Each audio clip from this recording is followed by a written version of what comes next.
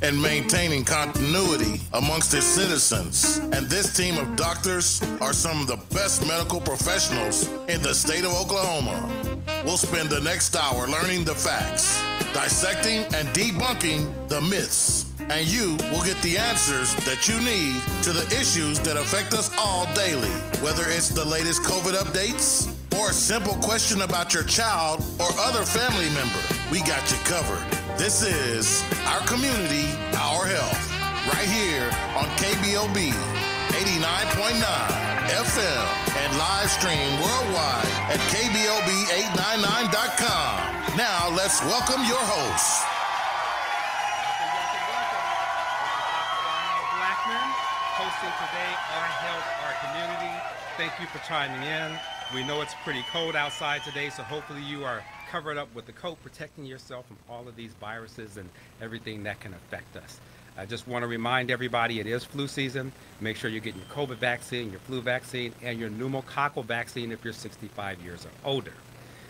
Again, thank you for joining today, Our Health, Our Community. Today, we have a very interesting guest with us. His name is Chris Lopez. I've known Chris for approximately 20 years and have kind of watched his, uh, his career flourish over the years. And oftentimes we are sitting with uh, seasoned physicians and their special, specialties and talking about what they do. And sometimes it's healthy to bring a different perspective on medicine, different things that happen in the community, and how it affects our health. Uh, and so today we're going to jump in, introduce you to Chris Lopez. Um, we'll have him tell you some things about himself. Uh, he has a very interesting story. And then we'll share some things about what he does peripherally on medicine that affects our health, our kids, and everything that we do today. So again, welcome, Chris Lopez. How are you today, sir? Good, have yourself. Good, good. Good. Good to see you again. You too. Um, again, Chris and I have worked for years together. We started Many out years. with Chris working as a medical assistant in my clinic. Uh, but I'm going to let him tell him tell you guys something about himself and how that, that story plays out. All right, um, my name's Chris Lopez. Um, I'm born in Texas, raised in here in Oklahoma, went to Union High School. Started working at the Orthopedic Center probably in 2002-ish, somewhere there, and physical therapy department. Then moved up into assisting the doctors, um, and then I got offered a opportunity to work in surgery. And uh, I remember the guy named Justin Clary told me, "There's a door, never ever not walk through it. Always walk through it and see what's on the other side." And I was very comfortable at the orthopedic center. I knew all the docs. We're all friends. We're all hung out. And uh, I went to the interview and went there, and we spent hours talking about. I'm a Texas fan. The guy on the company was an OU fan, and we went at it for hours. And he was like, "Do you want the job?" And I was like, "Sure, let me do it." Is, is that to say that Texas wins the game yeah, of year? course, of course. uh, and that's where I started my orthopedic in surgery, selling uh, products. And I did that. I worked for Arthrex as a sport number one sports medicine nation in the nation. Now, let me ask you something about that, Chris, because um, if I recall years ago, you and I had several discussions about, you know, what it means to be a physician. You worked around um, a lot of different uh, surgeons. Um, all of them like you. Uh, you know, you're very smart. You learn things pretty rapidly, and we all tried to push you to go to medical school. Yep. And we had several different uh, conversations about that. And I think that once you got introduced to uh, medical sales and what happens in surgery and started working there, you saw a different side of medicine Oh, and yeah. how you could benefit patients. Tell me something about that. Well, I when I first started, uh, I actually went to school for uh, to become a physician. After you guys told me you guys I, you saw something in me, and as I went on the journey, I was like, ah, this is fun. And then I saw you guys' life and saw how stressful it is and how much you guys have to work. And when I started in surgery, I was like, well, there's sometimes roles in life that you fit. And I said, this is probably a better fit for me where I can help the surgeon and assist them in new technology, procedures, and all that, um, and really grow their practice. Because what I've learned in life is you have specialties. You're good at some things, but not good at all things. And if you bring people in that are good at all some things, you add them all together, you become great.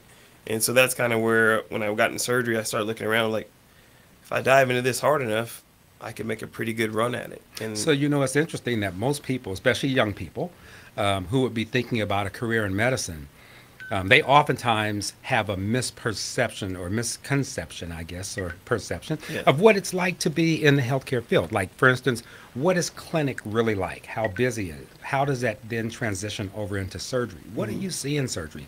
Is there blood all over the walls? and do people yell at you and that kind of thing? How's, No. how's your experience been with that? Uh, surgery's great. It's fun. It's a if you have the right team, it's a team environment where you know the surgeon is working hard, and then if you're part of the team, you you're an adjunct. You know when he's not looking, you're getting something on the back table, or you're looking the case ahead and saying, "Hey, how do you want to position this patient?" So it's one of those things where I learned I was like, if I could be part of the team and do anything to help the team succeed, we all succeed, and that's what I've really focused on. Like even learning positions and all that. I didn't when I first started. I didn't know what a lateral position was for a labrum, and the nurses come and asking me like I, I wrote the policy, and so I had to study a little bit and ask you guys different positions on what they do in different procedures, and I learned it and it became second nature to me to where I could actually be an adjunct to a procedure as opposed to just being a filler in the room. Outstanding. And so, as you know, uh, things happen in medicine, Oh, and yeah. some cases are fast, some are slower. uh, in terms of, you know, what we do today Mm-hmm. is different than what we did before. For instance, if we went back 25, 30 years and someone had a labral tear, which is the cartilage in your shoulder you have to fix, maybe from a dislocation, Mm-hmm. it was a big incision. You opened up the joint and fixed it, and things have changed tremendously. Oh, yeah. And with that, uh, the surgeon, as a technician, their knowledge base has increased. Um, we always talk about kids that play video games and Oh, yeah. hand-eye coordination, and how that has then affected us surgically. And then on the other side of that is the role that you provided. Mm-hmm. Um, we're providing instrumentation, and, and you had to have some background knowledge of what that surgical procedure was going to be like. So you didn't go to college to, to do this. How did you learn that stuff? I mean, how did the technology advance to that point? many nights of watching videos of guys talking a million miles an hour, anterior, posterior, medial, lateral, and I'm like, uh, I don't even know what that is. But just writing it over, reading it over and over, and watching the videos and studying and studying, and then asking questions. And when I worked in clinic, I was a very, I was a sponge. If they were reading an X-ray, MRI, I was, I would ask questions like, what is that? Why are you? Show me the tear. Show me the fracture. Show me where it, you see a signal on this MRI or whatever. And then after doing it for a while, you kind of pick up little bit and little bit. And being humble and asking questions and being able to be wrong and make mistakes is what separated me from many people. So it sounds like you definitely have to have some knowledge of science um, and you know learn anatomy, applied Correct. anatomy, but that's outside of the operating room. And we know that um, just because you're a physician doesn't mean you can be a surgeon. Um, how much do you think the on-the-job training had an impact on your understanding of medicine? Uh, it was huge. I mean, you can read a book on how to build a house, but you go to put the first screw in, and it's no, it didn't work out the right way. So it was very helpful to having a great teacher. You're a phenomenal teacher, Victor Palomino, and all the other guys that I work with are great teachers, and you know they were very humble enough to say, "Hey, I don't know this. I'm gonna take time and ask." And they could ask, and I, I would ask them any question. They'd be free to ask me, and I just think that very instrument instrumental in my in my growth, being able to have people that you know took time out and explained it to you, and that's why I'm always always indebted to my my boys is what I call them. Well, we appreciate you too. Yes, Just want to pause for the cause and say again, uh, welcome to our health, our community. Uh, No. All Our community. I'm sorry, our community, our health, So our, our listeners out there. Um, if you'd like to call in and have any questions, please dial in at 918 856 3873. That's 918 856 3873 for our community, our health, as we talk with Mr. Chris Lopez. Yes, sir. So, Chris, let me ask you it's really interesting that um, you have children. Yes, sir. I have hashtag girl dad. I'm sorry, say again? I hashtag girl dad. Yeah, yes, yes. So, so that's right. So it's interesting. I remember before you had children, and we talked about. I had I, I had children, obviously, and uh, we talked about having kids and boys and girls, and you ended up with all girls. Oh yeah, yeah. Right? I, Wow. I figured I was gonna have an NBA son or something NFL. And, uh, I got blessed with three beautiful children, twins that are 11 and an eight-year-old, and I didn't know being a dad is the most amazing thing ever. And I try to be maybe over the top every practice I can be at, every game I'm at, every anything. because I figure if I can instru- give into them now, then some riffraff won't be able to influence them later. And so I set the bar as high as I possibly can to make sure that they they look at everybody and treat everybody the same. But they if they're not treated like a princess, they don't give them time of the day. Yes, I understand. And you want to give them those values so that they have those as they go forward and matriculate through their academic and professional career. Correct. Um, so, in the health field, Yes, sir. uh, especially as a surgeon, you work a lot of hours. I mean, Oh, I'm sure you've Oh, yeah. seen surgeons that would work from six in the morning to six at night, or six in the morning till ten at night. Mm-hmm. Yes, sir. And oftentimes, if you're the uh, instrumentation rep or you're providing them. supply, you have to be there with them. And so, a lot of times, that influences whether or not someone's interested in medicine, um, and that really hinges on, um, you know, women in medicine, women Mm-hmm. in surgery, because as you know, women have children, and we we support them. How do you what do you, what have you seen? How have you seen the impact in surgery and medicine on families? It's it's a very difficult thing if you're especially if you're on trauma call or you work with a trauma surgeon because you can say, Hey man, I got dinner at, at nine o'clock on Friday and we got an early day and the next thing you know the pager goes off and you're down the ER looking at open fracture and then it's like two hours later they're coming up and then it's you get done with that fixing it and then it's like oh, another one just rolled through the ER. So it's one of those things where, you know, I had to give a lot of credit and credence to my kids and my family for the sacrifices that they make because at the drop of a hat, you never know when you got to roll to the, the ER and, and it's very tough. But it, it's very rewarding when you're able to uh, tell your girls that you're helping out someone that doesn't have any, you know, any family or friends and you're able to fix their leg or whatever, give them comfort. And that, that's what my girls have understood and they know that that's a sacrifice they've made. And they've been rewarded for it, but it's one of those things where it definitely is tough on them to the hours that you don't know when you're going to work or when you have to go in. Sure, it is, and and just like the surgeon, you have to be available at a drop of a A dime. drop of a hat. And so some people don't see the ancillary side of medicine and the support that we get just to be able to do our jobs. It Mm-hmm. becomes difficult. Um, you then obviously see what surgeries look like, uh, people that are ill, that have had trauma. Yep. Uh, and we know that we can take a young person and push them into college and send them to medical school. How does a young person become what you are? How do they do what you have done? Because you've been very successful at this. Sure. And, and I'm sorry, and then talk about the fact that you owned your own company. hmm I started my company in 2012. Um, I would tell anybody out there trying to get into any business is my number one advice is find out what you love and then find out what you're passionate about. And once you find that, then go do an internship or something and make sure uh, that's something you like. Because a lot of I hear a lot of kids say they want to be therapists and all that, which there's nothing wrong with. That's very great. But then they get into it and they get into work in a clinic where it's a bunch of people who are recovering from a spine surgery, and there's you know the the elderly community is a lot of your patients, and so it can be a little bit different. So I say if there's something that you're compassionate in, see if you love it first, and then try to do a like a shadowing or something to see if that is something that you could do every day because looking at the the lights and camera of an actor is always good and people want to be that and then you have to find out what work goes into that. You're like eh, i don't know if i really want to do that work. So i just recommend people trying to do a like a proctorship or something to see if that's something they they are interested in So interesting that you say that because in traditional medicine, we have uh, students that may come and do shadowing or rotate through my office. And as you know, when I was younger, um, I brought a lot of children into the operating room, uh, especially when I was working at Hillcrest. Uh, they would come from Booker T and certain other schools. And then there was a policy that was instituted that you couldn't bring the kid unless they were at Cascia Hall. yeah Uh, and it started to limit the access, uh, especially to African American students, because the density of African American students at that school was much smaller. So our kids, um, to some degree, get disenfranchised when it comes to that type of exposure, unless somebody has an active interest and oftentimes will seek them out. yeah It's even more so in what you did in surgery because they never see that. They No. never see the person that goes in that supplies the instruments.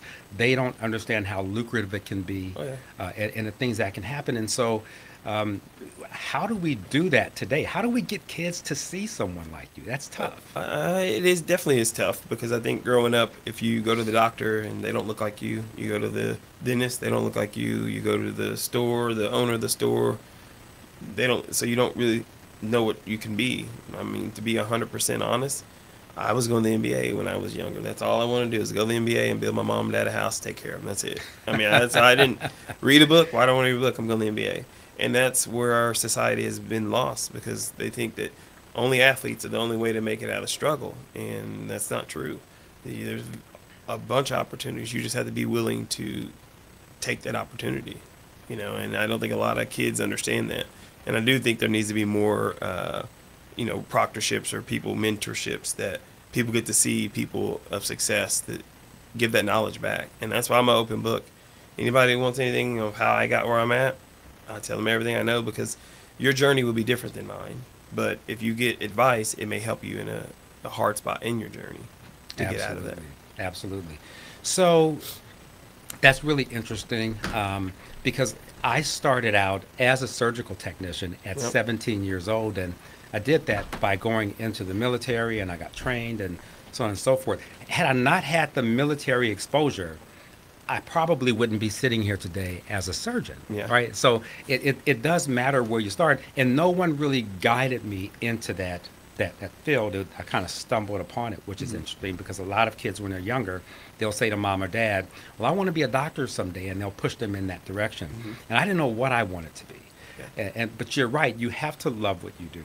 Um, you have to have a, a really uh, a big degree of commitment because it's financially You have to Oh, commit yeah. financially, and if you stop, you know, midstream, then you're in debt because to go to school and get out today, the average cost of tuition is about thirty thousand a year, and so that that becomes tough. I recommend to all kids, and this is bad to say, don't go to college without a plan.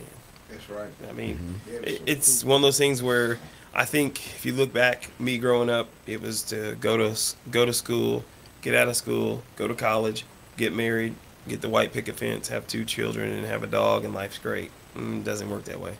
And I tell people, if you're going to go to college, go with a purpose. Go with the I'm going to be maybe two options. Man, I'm going to be a uh, X-ray tech, or I'm to be a doctor. I'm to be a lawyer. I'm to be a nurse. I'm to be the, but a general liberal arts, eh, it just doesn't doesn't do anything. I'd rather have somebody. I have kids coming to me all the time, and they're like, "Oh, hey, uh, my my daughter wants to work. Can she shadow you?" I said, "Sure," and I'll interview them, and I'd say, "Hey, how are you doing? What are you? What's your back? Oh, I went to OU. Okay, great, cool. I got a degree. Awesome." And then I say, "Okay, well, have you worked anywhere? Uh, no. Okay, do you have any experiences? "Uh, no." And said, "Okay, well, how much money would you like to make a year? Oh, probably a hundred grand. That'd be. Is that okay?" I said, "Sure, a hundred grand. I'll pay you tomorrow." And they're like, "Oh, really?" I said, "You just have to bring me a million dollars in business." And they say, "Well, well how do I do that?" And I said, "Well, if you can't do that, then how am I going to pay you a hundred grand?" And so it's just one of those things. I think kids have a misperception of if I have a paper that gives me a certain amount I can make, and that doesn't. If you have experience and you have a work ethic, that is what puts that number on that paper. Absolutely, and that's in any career field, right? Correct. Um, even if you're a physician. Uh, so I, I, I, I want to make sure that we're driving that point home because tomorrow, the kids of today will take care of us tomorrow. Yeah. And uh, if we're not, you know, taking them through that maturation process, we're hurting ourselves. Correct. So I just want to pause for the calls again. Our community, our health, uh, 918-856-3873. Uh, give us a call. We'd like to answer some questions for you. We'll take a break and we'll be back shortly.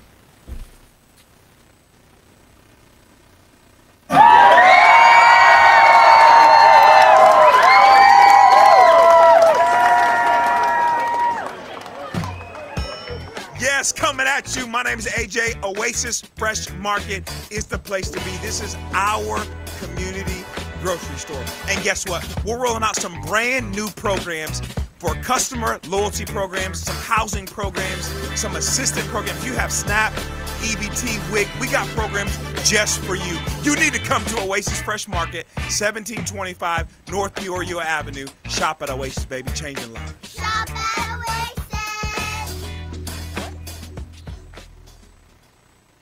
Hi, my name is Jeremiah Watts, the Community Development Director for Supporters of Families with Sickle Cell Disease. And my name is Lindsay Corbett, Community Health Worker Director of Supporters of Families with Sickle Cell Disease in Tulsa, Oklahoma. Like you, we are weary of this pandemic. Unfortunately, people of color are disproportionately affected by this virus. The COVID 19 vaccine has been shown effective.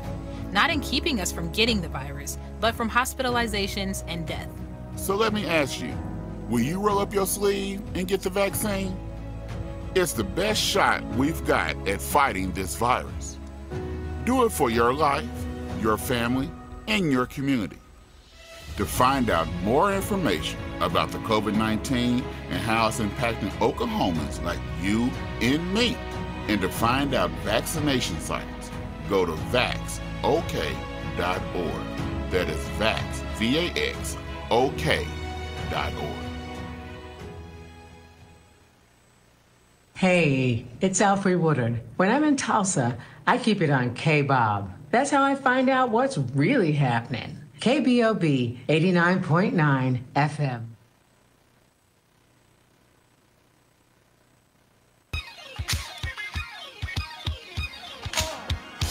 We're your growing peoples. And we love that funk they play on KBOB 89.9 FM.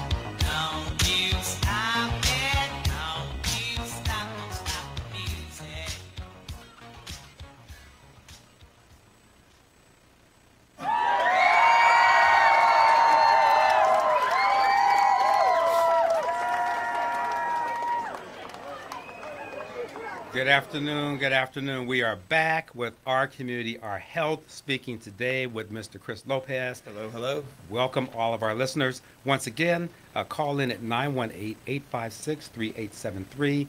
Uh, we want to answer any questions that you have. We're having some very interesting conversation today uh, about things that surround medicine uh, and how they impact us in our community, which is our focus. Uh, so I just wanted to uh, say that today Chris made his way here.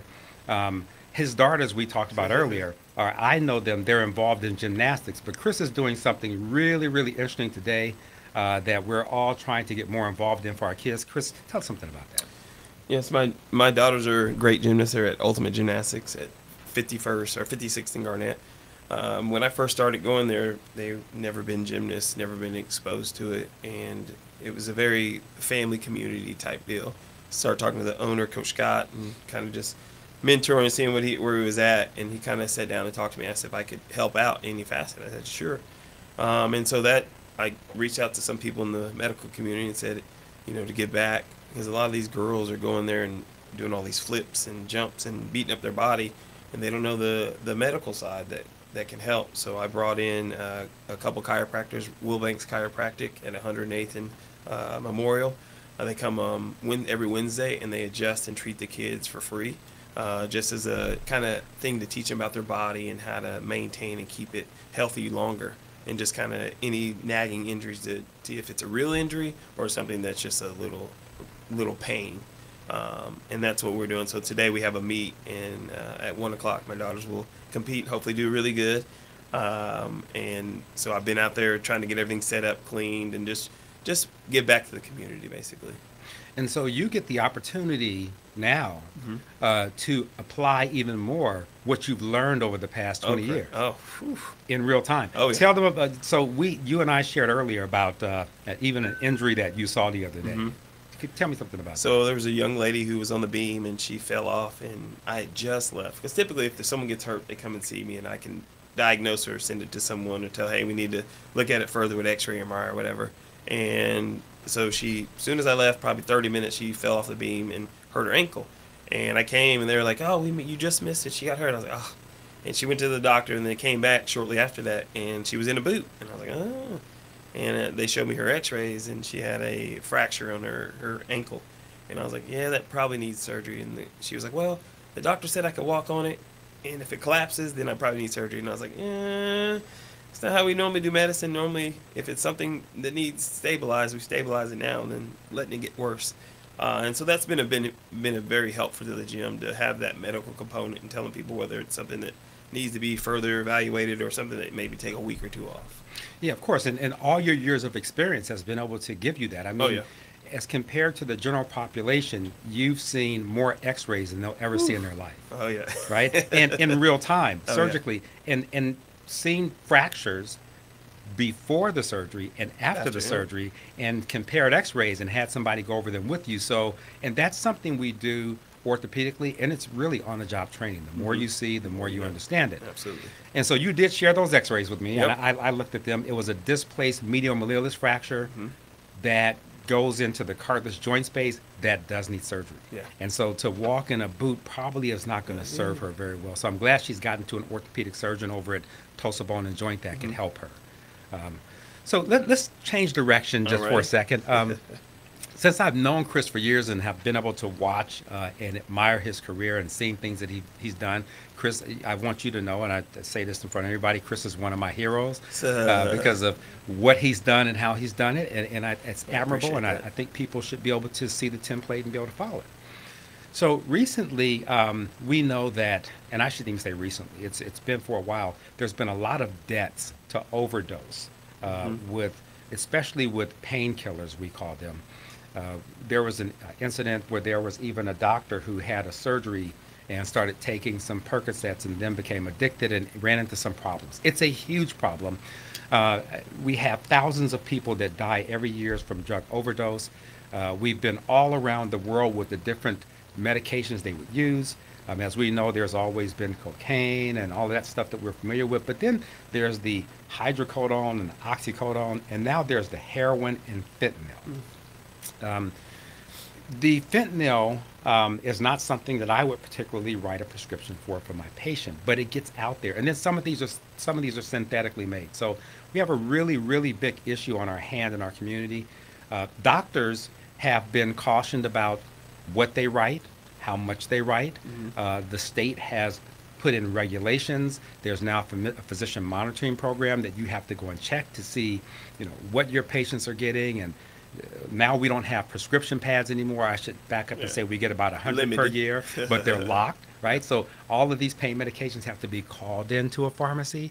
Um, and, and then again, it's the lowest dose um, and the longest time period that's going to be effective for the patient. Uh, and I say that because a lot of patients think, well, something's wrong with that doctor. They don't want to give me any pain medications. But the state's watching them, and the state has taken licenses from doctors. And it's it's been stated that if we don't control your pain, well, we can be sued. If we control your pain and make you addicted, we can be Sued. sued. Well, so where does that leave your physician and the patient who's coming in complaining of pain, and you have to stop and think, are they seeking, are they not seeking, and how does this impact my career? And then people start dying and gets worse.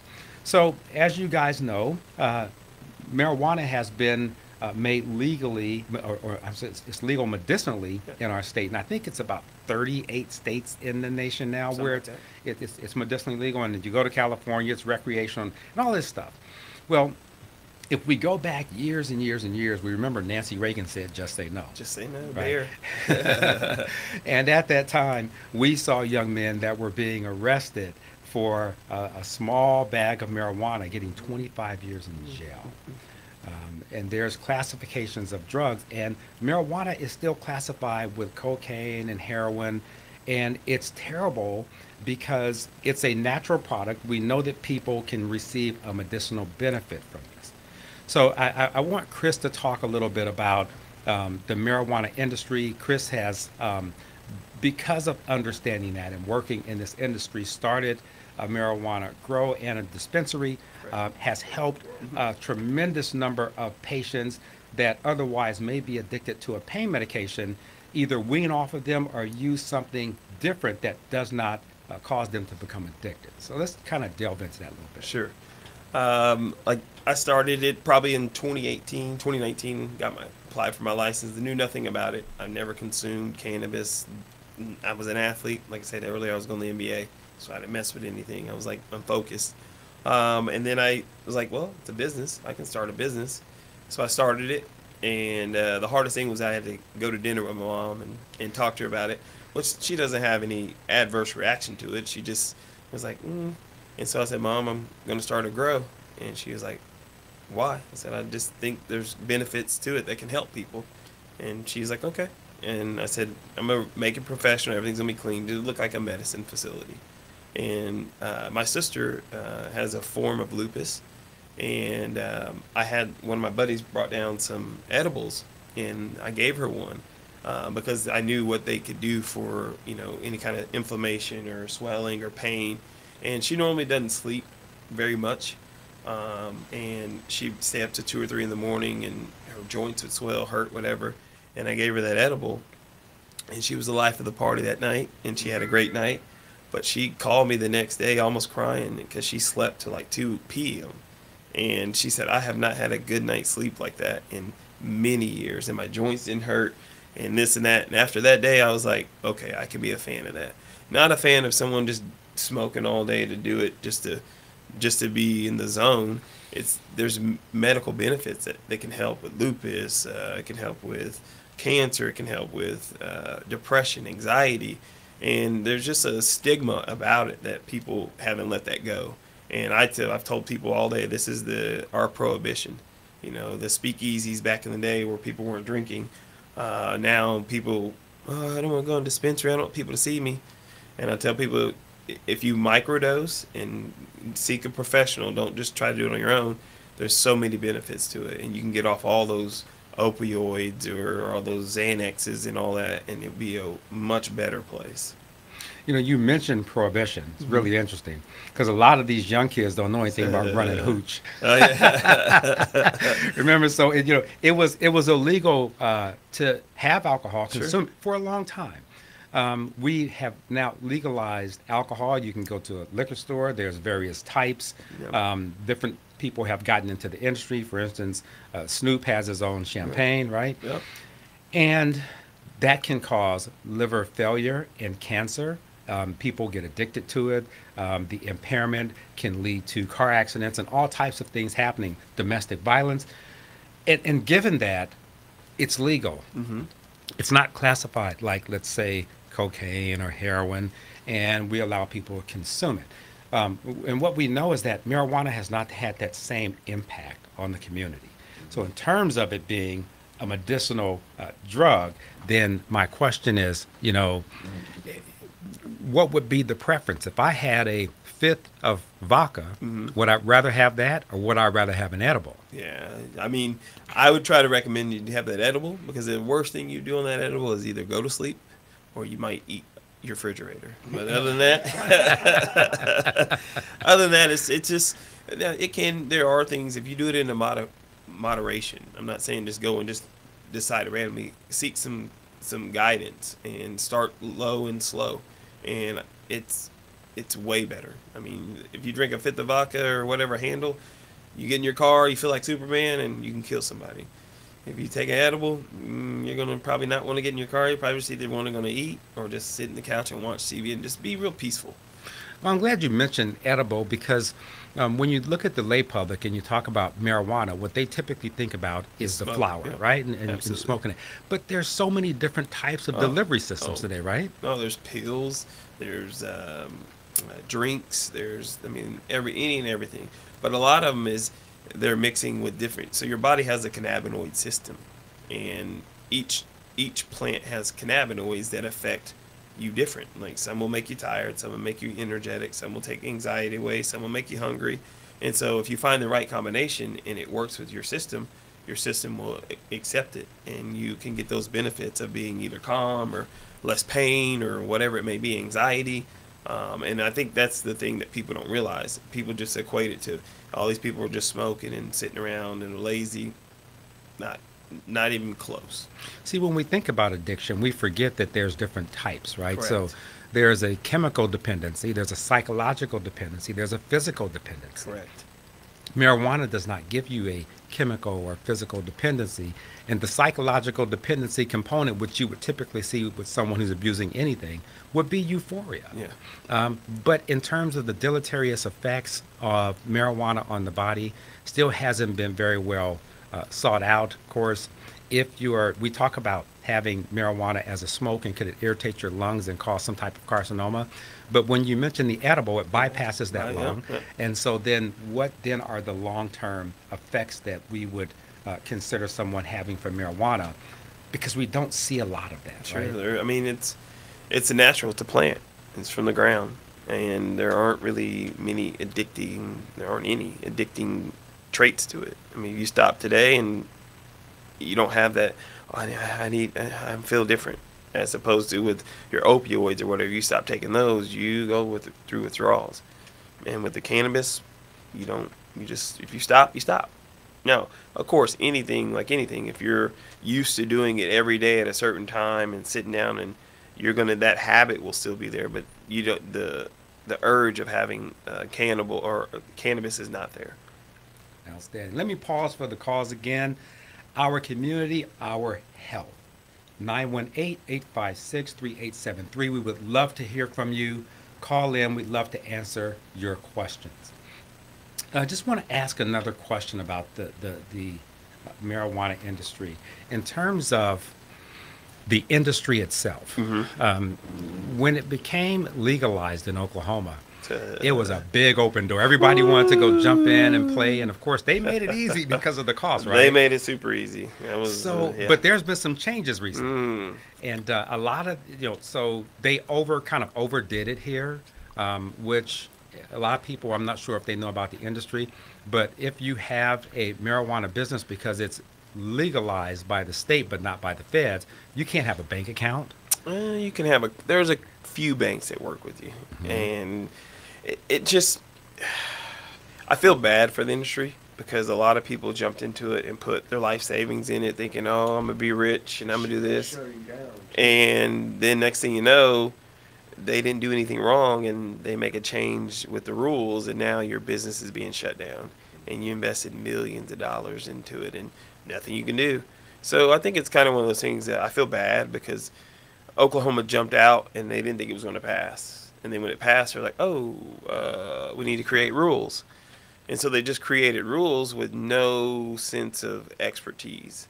Um, I'll give you an example for testing. When it first started, you had to have so many, um, like for you had to test for mold and microbials and all this other stuff. Well, I sent in a test and they didn't. It didn't fail, but it was highlighted red for the parts per million is what we call it. And I said, well, call the company. I said, hey, did I fail this test? And they said, no. We just made it red. I said, why is it red? They said, well, it's out outside of the guideline. I said, well, what is the guideline? And they said, whatever you want to make it. And I said, well, if I get to choose it, then it's not really a guideline. And so I was like, well, copy off Colorado or whatever state that has it. And they were like, well, there's no rule that states what we have to do. So it just has been a very up and down industry that it shouldn't be that way. It should be a very medical, you know, focused, you know, orientated business. And a lot of it's starting to go that direction because a lot of people are getting out. Um, Right. But it's not there yet. So it's supply and demand, just like any other business. Well, whew, there's a lot of supply, and that's why the that's why they were saying that Oklahoma's one of the number one exporters for for cannabis. It's because if there's 10,000 license and there's 10,000 grows, you have to have people that can consume that amount. And I think we're already 100 to maybe 200 percent above what we could what we could consume. So and then recently there was a big bust Oh, yeah. where they had people that were not even from this country Oh, yeah. that had a huge operation here, and so even even with legalizing it medicinally, Mhm. we still find the you know people that come and they do it illegally, or the guy that Well, stands on the corner. You gotta look at the license, the barrier. We call it the barrier to entry of any business. It's only twenty five hundred dollars to have a grow, and so if you take someone that has some foreign money that three million dollars, you could buy how many acres in Oklahoma? That's why a lot of these grows are in these small town that don't have a big, you know, it's a mom and pop convenience store. Uh, the fire marshal's the buddy of this guy, and so they didn't have all the rules and regulations. I'm in the city of Tulsa, and from day one, I had to have my COO, and it cost me a lot of money to get it. I had to have way more things than anybody else did, and I didn't understand it. Didn't make sense to me. I was like, this didn't. If you have the same business, I have the same business, we should follow the same rules, but it's different counties. Well, last year they finally got together and said, no, everybody has to have the same rules. And so all these little small mom and pop grows that were in Altus or whatever, they had to have their COO now. And so a lot of those people had to put in fire suppression systems that are quarter million to half a million dollars. Wow. You don't have that money sitting around. And so that's that's why a lot of the grows are now closing. And if you think about it from a um, cost perspective, Mhm. we really need the grows because you know the cancer patients, um, the kids who have ADHD, all these other problems that you know medicinal marijuana can help. Correct. Um, that would take the place of a pharmaceutical drug. There's a huge benefit. But we have to understand that pharmaceutical companies have a lot of money, They right? do. And, and so you can't. It's hard to battle that industry. And then with the stigma of marijuana, you look in the, the medical community. You look at um, physicians. Let's take a, a physician for instance. If you have a physician that uses medicinal marijuana, let's say they had reflex sympathetic dystrophy and they Mhm. used an edible and it, it, for pain control and Mhm, help sleep. and they go and they have a urinalysis, they're going to probably be in some program or be at risk of losing their license. Mhm. Um, if they said, "Hey, I'm just going to go get a fifth of alcohol and drink a lot," it's acceptable. It's acceptable. It doesn't make any sense. I Right. mean, you could drink and do a surgery, but you couldn't smoke and operate a clinic. That doesn't make sense. Doesn't I mean, it's sense. just one of those that the stigma again. People. And the other thing is that, you know, so we talk about being impaired in the workplace. If you are in the workplace Mhm. and you have a urinalysis and test positive for marijuana, well, that stays in your system for a while. Yeah. It doesn't mean you're impaired at work. Correct. Um, so that's not acceptable. Mhm. But if you go home and you get drunk the night before and Yeah. come and you're sober and they test you and they say, hey, you were drinking, but this is okay and this is acceptable. Mhm. So there's something wrong with the understanding and the stigma of how we look at medicinal marijuana I agree. and how it's utilized in our system and how we can have a benefit to people that could otherwise be functional and not be impaired when they're working. No, I agree 100%. And it's unfortunate because I think a lot of people are going off the old. It's hoodlums and thugs that do it. And there's so many different methods and forms that people, if they would actually try it, and um, if you're the right age, uh, and a card holder, uh, you will find that there's so many benefits to it, you know, and you could get off your depression medicine, your anxiety medicine, your pain medicine.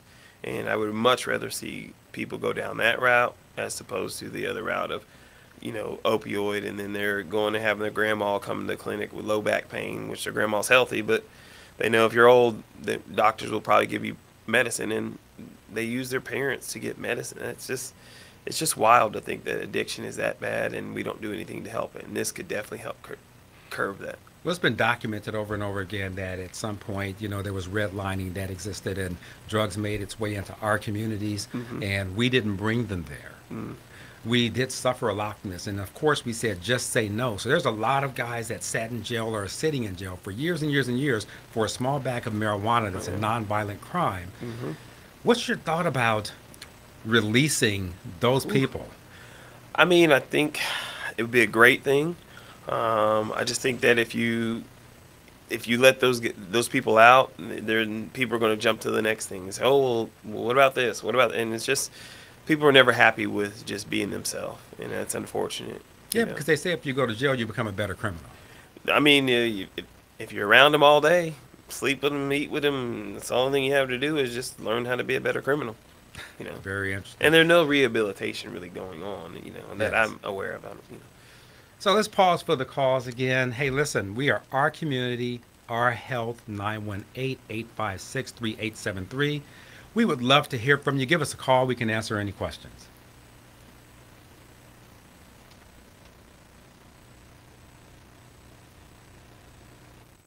How to order chicken wings. Number one, find a good wing spot. I know a wing spot, Max Wings. Number two, decide if you want a combo or if you want to order a la carte. Huh? What's that? Well, combos come with chicken, veggie sticks, fries, and a drink for a discounted price. A la carte means that you order each item separately. Ah, okay. Three, decide if you want bone in, boneless, or cauliflower wings, and then determine the delicious flavor you want on your wings. I didn't even know cauliflower had wings. You learn something new every day. Have you been to Max Wings? Yep, yep, Max yep. Wings is located at 782 East Pine Street in Tulsa. We're open Monday through Thursday from 11 a.m. to 8 p.m. and on Friday and Saturday from 11 a.m. to 10 p.m. Come to Max Wings, home of the dry rub fries.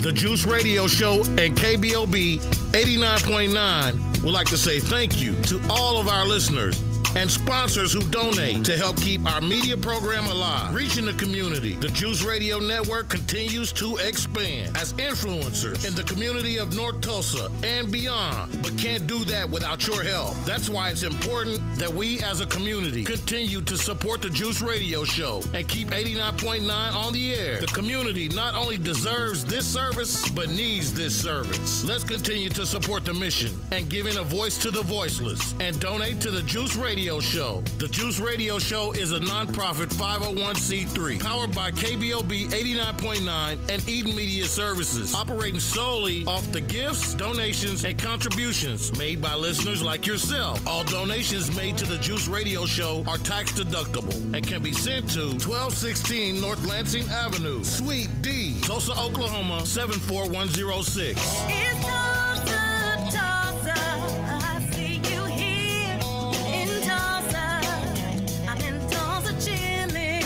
Appreciate your continued support and thanks for listening to KBOB 89.9 FM. This is KBOB 89.9 FM, Tulsa. And now streaming 24 7 live from the Eden Media Studio. 24 7 live at KBOB899.com.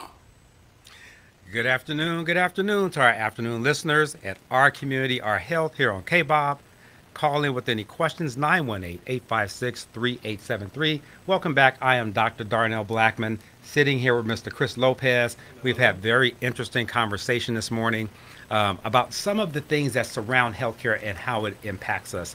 Uh, we were just talking about the mar- marijuana industry, which I don't think that's going away. I think it's going to be here to stay. Hopefully, it's going to help to uh, you know, dissociate us with some of the things that uh, cause stigma, but also that cause addiction. Uh, it's, it's, very, very interesting that sometimes that's um, our kids or our family, so we should all be concerned and involved in this effort. Um, I did want to say that uh, we talked about gymnastics earlier. uh, Chris has uh, two daughters that are going to be competing yeah, today. Go Malia, go Tinley, and Blake. I give a shout out to her too. That's right. and uh, um, he's going to head back over there. The the, the tournament's going to be uh, beginning. When I'm done, I'll meet him there. Oh yeah. Uh, we'll be looking after our kids this afternoon, making sure that they're healthy.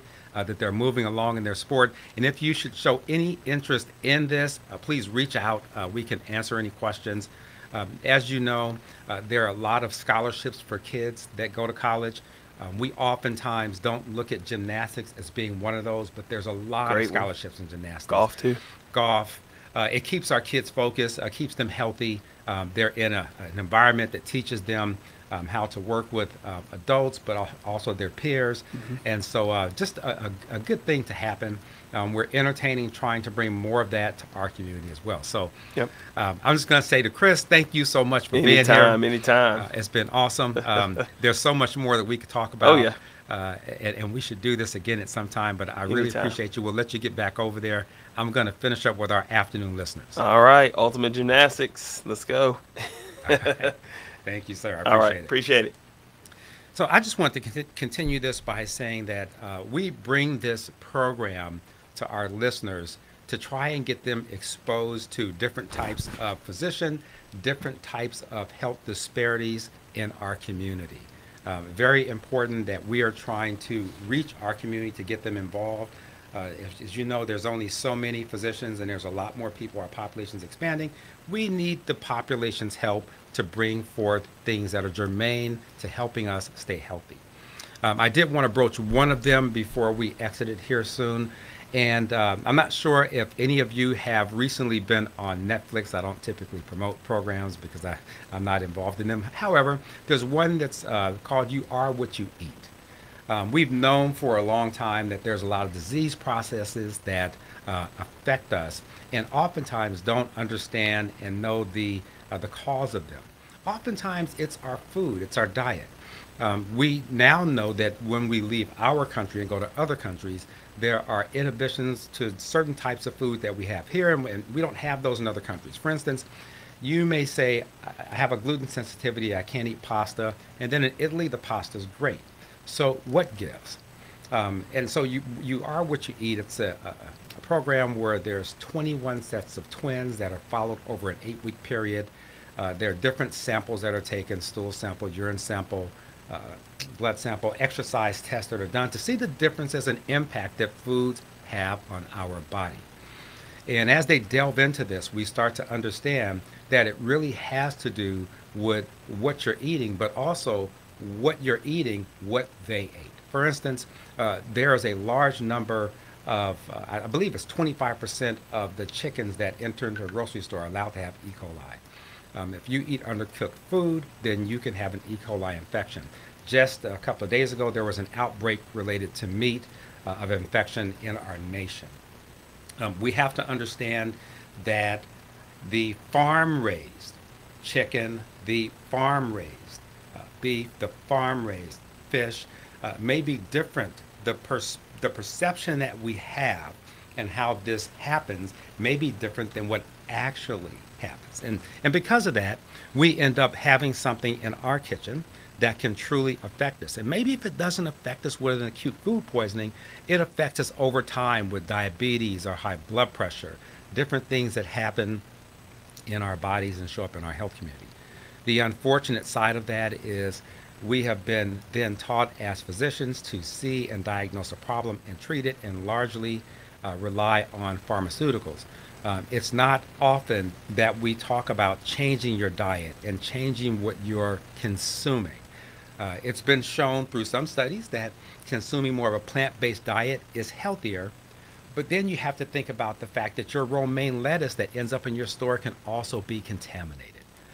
So, what gives? It's a very interesting scenario because to eat healthier is more expensive. Um, we have tons of fast food restaurants here, so you can stop right by McDonald's and pick something up. Um, and so, how do we, as a collectively, as a community, make ourselves healthier? And I think it starts with an educational process. We all owe it to ourselves to stop and start to think about what we're putting in our mouths, how it got to our table, and where it came from. And in fact, there's been a large push by the state of Oklahoma to have, uh, you know, each one of us, if we could, have a garden in our backyard. Um, there are entities that will assist you in creating a garden. There are entities that will assist you in maintaining, and what you don't consume will even help you to sell what you grow in your garden. The positive side of that is you get to control if there's a pesticide, if you're raising chickens, you get the control if they're truly range free and cage free. Uh, in the uh, in, in, the documentary, um, you are what you eat. If you had a two by two space for a chicken to go into, then that's considered to be uh, range free. And so when, when you go to the store and it says organic, and you never really know what the status of the animal was before it got to your plate. And that affects us a lot. A lot of these animals die and other animals get contaminated. Some of the uh, food that gets to our plate already had a disease process and we're consuming this. So I think that if we're going to truly control uh, health disparities um, in terms of, you know, diabetes, high blood pressure, high cholesterol, peripheral vascular disease, um, having chronic diabetes that may lead to an amputation, the cost of healthcare and how it affects our country and how it affects our own pocketbook. It's going to take each individual having some conscience about protecting what goes into their body. Uh, there was, uh, uh, I can't think of his first name, his last name is Adams. I believe he's the mayor in New York, who in the documentary talks about health problems that he had. Diabetes was one, his A1C was very high. Um, he was actually told to get on a series of medications that would change his health status and help to uh, decrease these problems, but was told that he should uh, look at a, a video about living with diabetes. He did some research on his own and learned that he could change his diet and it would affect his diabetes as well. And so he did this for several months and then went back to see his primary care physician, who, of course, did some lab work and said, Hey, you're doing great. You're on the right track. Your medications are working. And he proceeded to tell them, I did not take the medications that you gave me. I changed my diet to a plant based diet, and hence he is healthier today. I just want to say to all of us at some point, we have the opportunity to be a patient. I would rather be a patient who sprained my ankle then is suffering from heart disease. uh, one of the tenets of this study was looking at um, sexual arousal. And so they took uh, the twins and they would have them watch a pornographic video. They did some thermography to see how much blood supply went to their genitals. What they found is that if you're on a plant based diet, uh, in some of them, it increased by about 300 to 350 percent the amount of blood supply to the genital region. And why is that important? It has been now stated that 50% of men over 50 will have impotence. 60% of men, 60% of men over 60, and 70% of men over 70. This is a vascular issue, right? Because the genitals are a blood supply. But we also know that the vasculature in your genitals is much smaller than the vessels in your heart. So now there are studies that show that if you have impotence, there's a very high chance that you are going to have heart disease. And so that uh, man that develops impotence early in life would maybe have heart disease as he gets a little bit older because those vessels are bigger, they're getting clogged by cholesterol and plaque.